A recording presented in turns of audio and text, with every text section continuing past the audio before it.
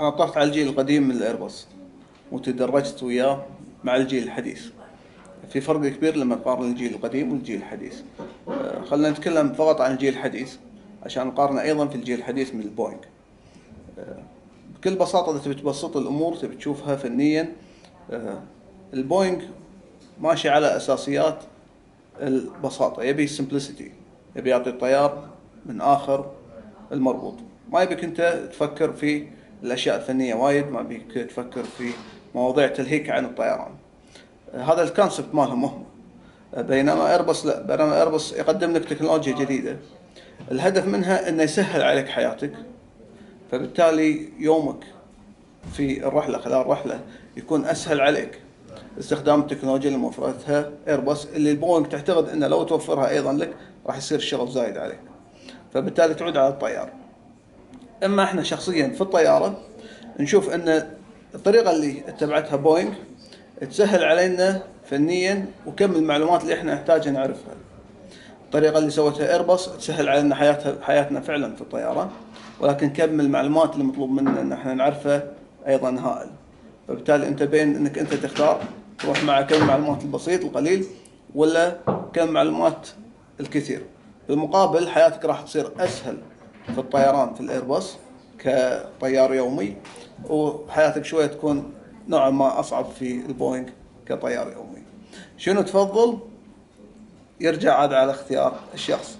في ناس يحبون البوينغ في ناس يحبون الايرباص أنا بالنسبة حقي أعتقد انه في الطيران اليومي السهولة في الايرباص أكثر.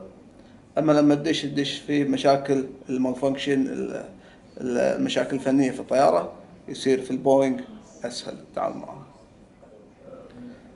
الفرق بالنسبة حق داخلية الطيارة ككابينه قيادة بين البوينغ وبين الايرباص أول ما تدش راح تشوف إن اللون غير. البوينغ يستخدمون اللون البيج أو البني الايرباص يستخدمون اللون الرمادي أو الأزرق شوية. آه، كل واحد يعتقد إن لونه طبعا أفضل من الثاني. آه، أنا بالنسبة حقي تعودت على الاثنين أشوف يمكن البني اللي في البوينج شوية أريح خاصة لما تكون على آه، رحلات الطويلة تبي اللون شوية يكون مريح داخل كابينه القيادة. فاللون يفرق. الشيء الثاني اللي على طول راح تلاحظه انه في البوينغ في مقود قيادة الايرباص ما راح تلاقي. وايد ركاب يدشون معاي يقولون أنتم شلون قاعد تطيرون؟ شنو شنو الطريقة اللي قاعدين تمسكون فيها الطيارة يعني؟ فبعدين لازم نوريه إنه في side stick على جنب هو طريقة التحكم فيها.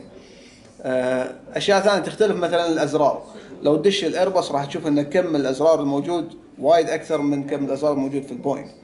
آه، حجمهم أيضا آه، أصغر من الأزرار اللي في البوينغ. طبعا هذا أيضا يعود على نسبة التكنولوجيا والأشياء المستخدمة في الايرباص الزايدة هذه تتبعها طبعا أزرار زيادة. أما البساطة اللي في البوينغ راح يعطيك بساطة في الأزرار.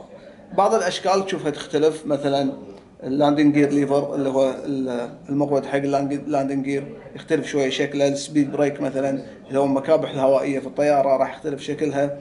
في الإيرباص كل شيء مسوينه كانك في في سيارة sport يعني. تحس إنك أنت قاعد نازل وكل شيء قدامك وكل شيء قريب يمك والمعدات شكلها شوية أنيق ودرب أما في البوينغ لا تحس كأنك في سيارة جيب مثلا كأنك في رينج روفر قاعد فوق يعني شوية مو مش زي باقي السيارات يعني.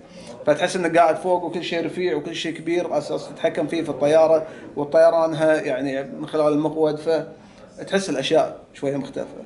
فهذه بعض الاختلافات بين البوينغ والايرباص